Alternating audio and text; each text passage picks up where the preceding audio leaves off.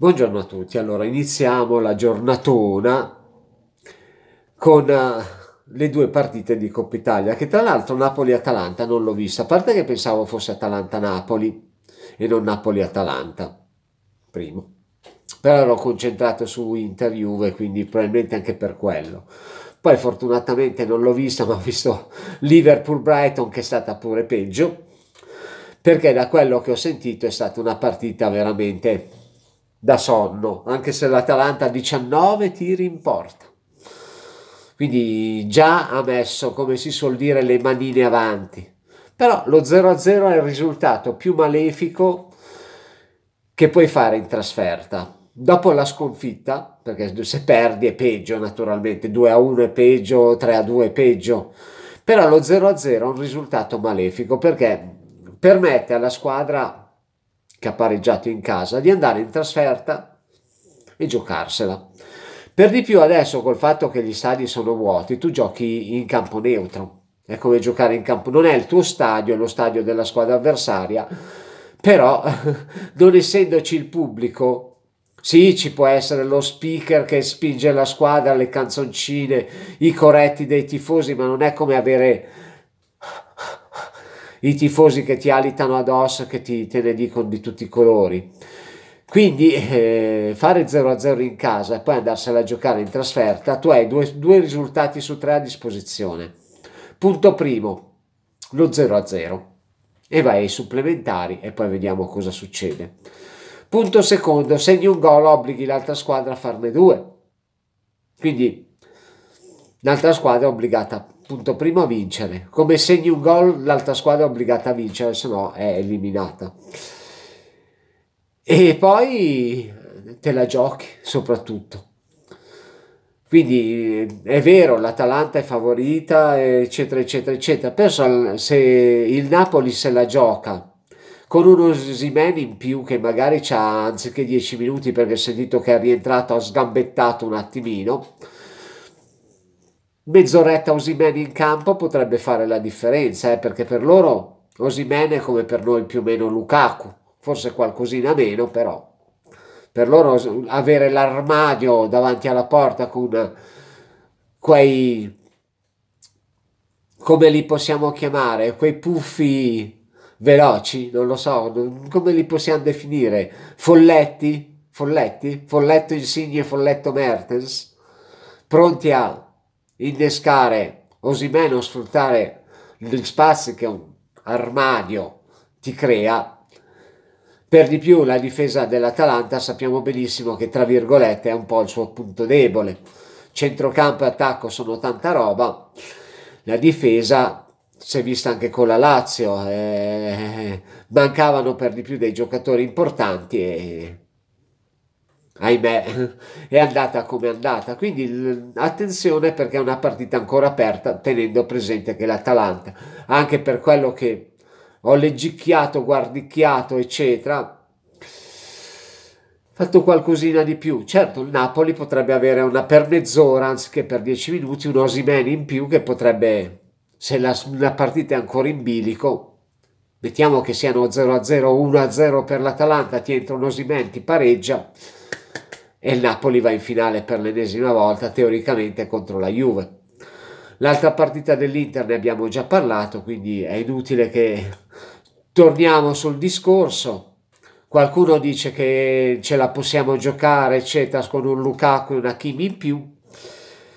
La mia paura è che i ragazzi non entrino in campo con la voglia di ribaltarla. La mia paura è quella, che vanno lì tanto per fare la partita, poi vediamo cosa succede, ma temo una partita come con lo Shakhtar a San Siro che abbiamo fatto 0-0 che si attaccava, ma per onore di firma, come si suol dire. Però non si sa mai, eh. L'Inter degli 1-2 in casa li ha ribaltati non più più di una volta, eh. Quando abbiamo vincemmo una delle coppe UEFA, Perdemmo due partite in casa per 1-2 andammo a vincere in trasferta 3-1. O vincemmo 3-1 e perdemmo 2-1 in casa. Quindi attenzione. Però non è che mi faccio troppe illusioni. teoricamente la partita ora è una rivincita ennesima Napoli-Juve o una cosa inedita Atalanta-Juve. Attenzione che l'Atalanta la Coppa Italia la potrebbe anche riuscire a vincere. Detto questo, ragazzoli, per quanto riguarda le schedine e bollettine del Gigione ho già guardato, ma siccome manca Tottenham-Chelsea questa sera, non vi dico nulla. Vi posso solo dire che il campionato francese è andato abbastanza bene e le schedine del campionato inglese sono andate abbastanza bene, per non dire benino. Ma non dico altro perché poi ne parleremo questa sera al termine di Tottenham-Chelsea, partita che mi gusterò come sempre visto che Sky, il campionato inglese, e quello tedesco, ce li ho nello sport e qualche partita me la fanno vedere, credo che questa sera mi godrò Tottenham-Chelsea. Penso, penso, non ho guardato, ma credo di sì, perché ieri c'era la Liverpool-Brighton, quindi presumo che questa sera ci sarà Tottenham-Chelsea.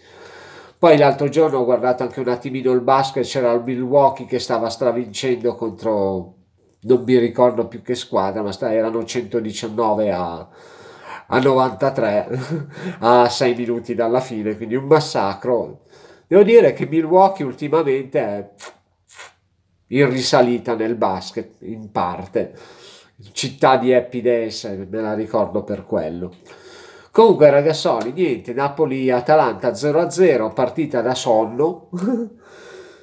Vedremo al ritorno se magari giocheranno un attimino più, più aperti giusto perché lo 0-0 ti manda ai supplementari e penso che nessuno abbia voglia di fare i supplementari, soprattutto l'Atalanta che la settimana dopo c'è la partita di Champions con il Real Madrid.